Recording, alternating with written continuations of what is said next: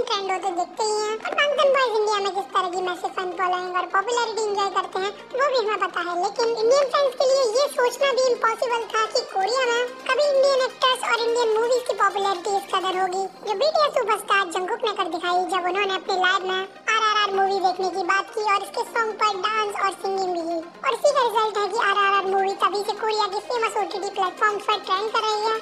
रामचरण और जूनियर एनटीआर भी top trending actors में जिसे खुद ट्रिपल आर मूवी की टीम ने ट्विटर पर शेयर किया और जिनकी वजह से ये कारनामा पॉसिबल हो पाया यानी जियन जंगकुक को।